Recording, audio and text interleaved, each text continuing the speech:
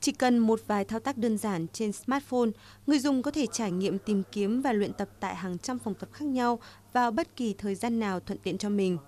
WeFit là một trong những ứng dụng công nghệ mới tại Việt Nam. Không chỉ mang lại tiện ích cho người dùng, ứng dụng này còn giúp các phòng tập fitness tiết kiệm nguồn lực đáng kể. Ở các phòng tập thường chỉ ờ, phủ được khoảng 20 đến 30% cái ờ, cái không gian và thời gian của họ thôi thì những cái thời gian trống còn lại là những cái chi phí lãng phí mà họ ờ, không dùng hết mà họ đã phải đầu tư cho máy móc và cơ sở vật chất rồi thì ờ, việc có thêm khách hàng thì sẽ giúp họ tối ưu được chi phí. Đây chỉ là một trong nhiều mô hình kinh doanh theo hình thức chia sẻ đang ngày càng xuất hiện phổ biến tại Việt Nam. Hiểu đơn giản thì kinh tế chia sẻ là mô hình tận dụng tối đa tài sản của một người trên cơ sở khai thác kinh doanh dựa trên nền tảng công nghệ. Với triết lý, cái gì của tôi cũng có thể là của bạn, miễn là trả phí. Kinh tế chia sẻ đã trở thành mô hình kinh doanh hấp dẫn trong nhiều lĩnh vực của đời sống. Ưu điểm chung nhất của cái dạng hình kinh tế chia sẻ đây là ừ, giúp tất cả những cái đối tượng liên quan trong xã hội là được hưởng lợi thông qua cái việc là giảm cái chi phí, tăng cái sự tiếp cận của những cái,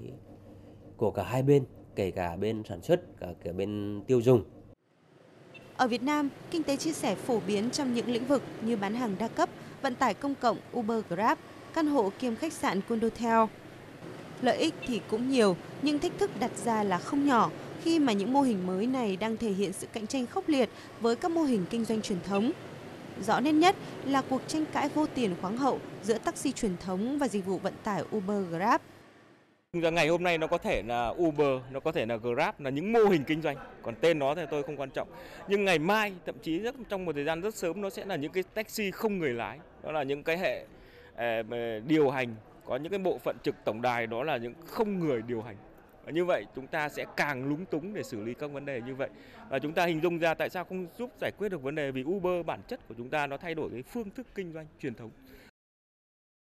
các chuyên gia cho rằng Việt Nam đang có nhiều lợi thế để biến thách thức của kinh tế chia sẻ thành cơ hội khi mà những mô hình này mới chỉ xuất hiện ở nước ta. Thay vì tìm cách để hạn chế hoặc đối phó, Việt Nam có thể xây dựng một hệ thống pháp luật hoàn toàn mới để quản lý, thích ứng với sự phát triển của công nghệ và kinh doanh sáng tạo. Nhân dịp chúng ta đang cải tổ mạnh mẽ như thế này thì hoàn toàn có thể là xây dựng hoặc đưa ra cái tư duy là xây dựng những cái khuôn khổ pháp lý mới hoàn toàn mới từ đầu cho những cái à, công nghệ cho những cái mô hình kinh doanh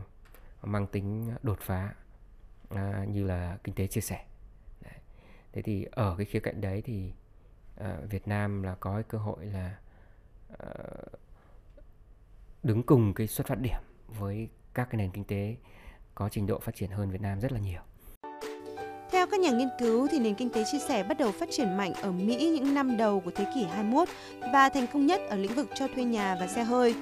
Cho đến nay, hình thức này đã ngày càng nở rộ, song việc quản lý vẫn là một thách thức lớn ngay cả tại các nền kinh tế phát triển nhất thế giới. Nhiều quốc gia đang hướng tới xây dựng cơ sở pháp lý mới cho mô hình này.